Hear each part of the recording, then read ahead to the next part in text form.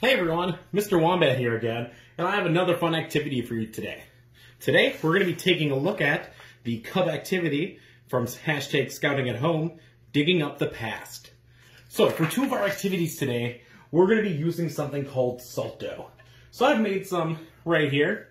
It's this nice dough you can make at home. It basically acts like clay. And then later on, after we make our creations, we can cook them in the oven so we can keep them. And all you need to make need to do to make salt dough is you need some two cups of flour, one cup of water, and then one cup of salt. You slowly mix those together, and boom, we got salt dough. So the first thing we're going to talk about today is something I really love. They're called fossils.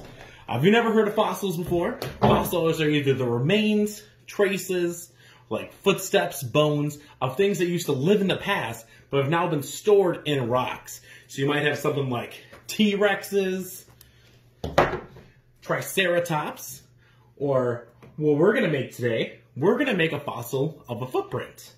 So I'm going to take a little bit of our salt dough here.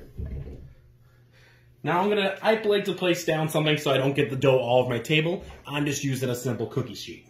So I'm gonna put it down, smash it a little bit, and then we're gonna take my dear friend Rex's foot here, and we're gonna press it down right into it, just like that. And now, you don't have to have a dinosaur to do this. You can do your hand. Uh, if you can find a leaf from outside, you can use that.